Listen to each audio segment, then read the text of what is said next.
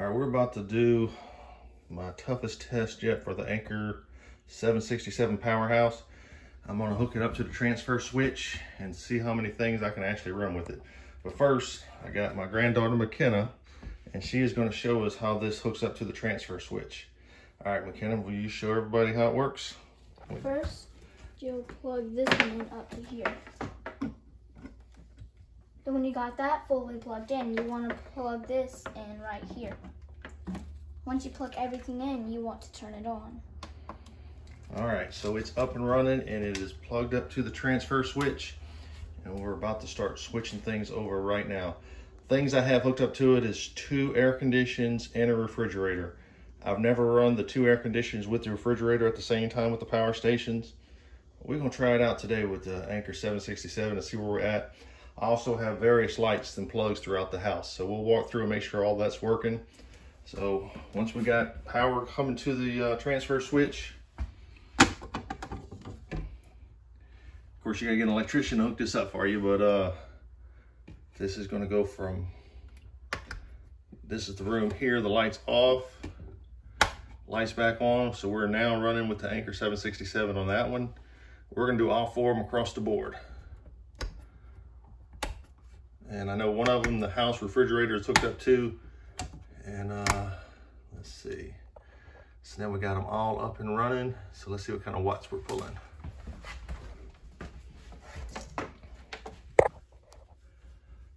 So we're pulling 259 watts. That's with the refrigerator running. This light that's behind me running, and I have one more light and ceiling fan in another room that's running. That's in our office. That's up and running right now as well. So we're gonna start turning some other things on and see how we go. All right, we're gonna follow McKenna around as you see that ceiling fan's running. Okay, McKenna, let's go turn some things on. First, let's do the air conditioner. So she's gonna turn this big. Go ahead, turn it on.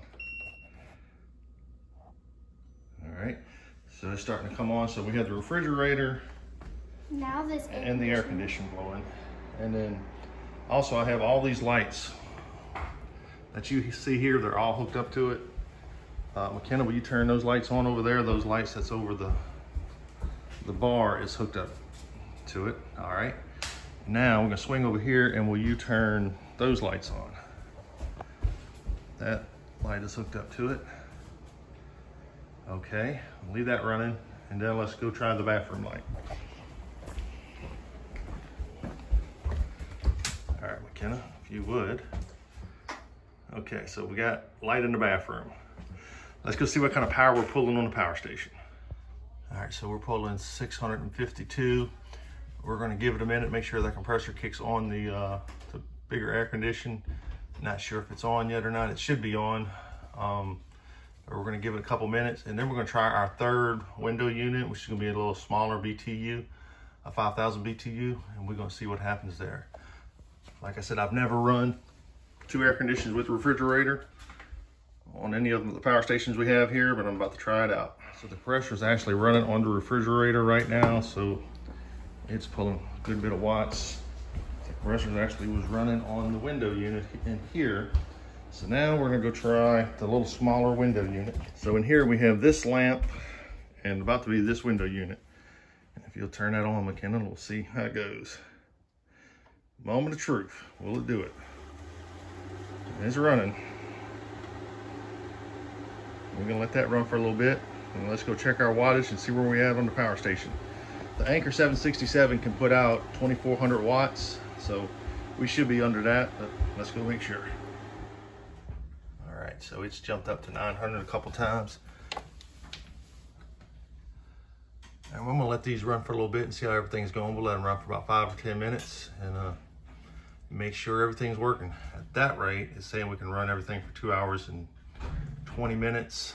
But of course, the compressor on the refrigerator, all these compressors aren't gonna be running at the same time. So at two hours and 20 minutes, I don't know if you'd actually get that running two window units with a refrigerator. Probably not.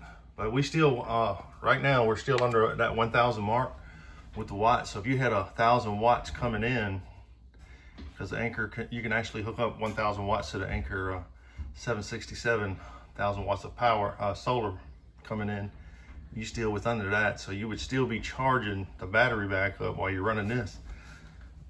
Uh, but like I said, we're gonna let it run for a while and see what's the highest it, it goes up with the watts.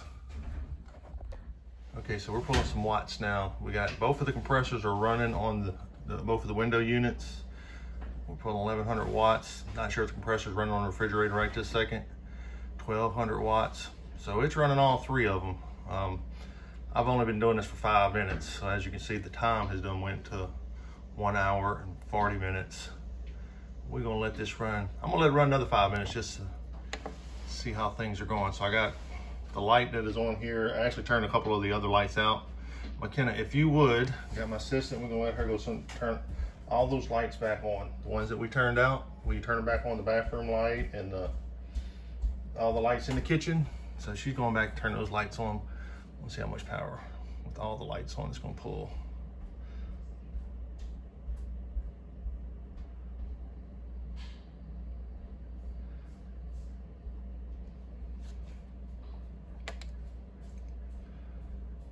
So 12, 13, 7. All right, so now we have all the lights I have hooked up to the, uh, the transfer switch. Two window units and a refrigerator hooked up to it.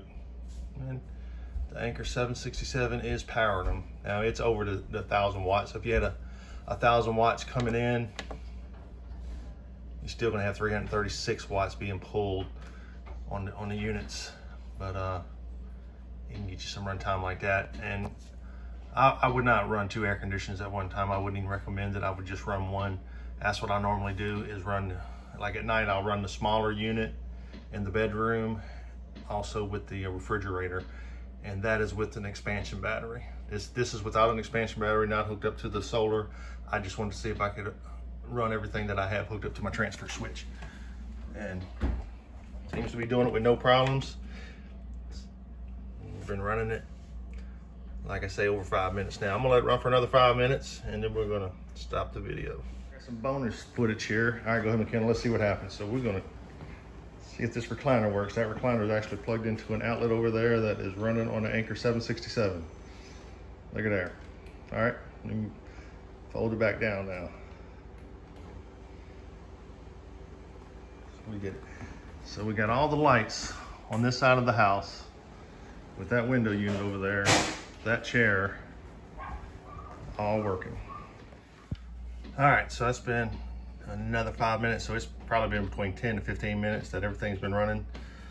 So to wrap it up, we're gonna, we got two air conditioners running. One of them's 8,000 BTU. The other one's a 5,000 BTU. Our home refrigerator, whole bunch of lights. And then uh, we even did the little recliner in there. And the highest I've seen it up to is, I think like 1470. 1470. Um, so it's averaging, I guess, around 1400 right now with all those running. Didn't have any problems. This thing can put out 2400 watts, so really didn't push it that hard. I was just curious to see what we would do here at the house. If I could uh, run everything that I have hooked up to the uh, transfer switch. Did it with no problem. So, you know, when the power goes out, I'm, we're not needing no more than that may plug a TV in or something like that, but other than that, that would be about it. It'll also run our microwave. I, di I didn't do it with all these running, but I have run the microwave. Of course, it's gonna run the microwave without any problems. So there, there is my ultimate test with my transfer switch here at the house. Hope you enjoyed the video. As with anything, whether it's the power stations, the solar panels, and we even have that transfer switch, uh, something that you may be want interested in, you can look in the comments down below and uh, there's going to be a link to our webpage. You can get on there and just shop around. This is the Anker Powerhouse 767 without an expansion battery, without hooked up to the solar. They, there's an expansion battery that can be hooked up to it, so you'll double your runtime.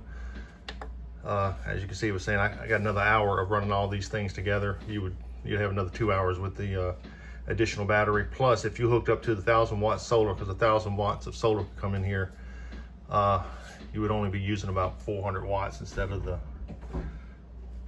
um, 1400, so because you, had that thousand coming in. So give you a lot longer run time. All right, thanks for taking time out with us, and uh, thank McKenna for her help. Thank you, McKenna.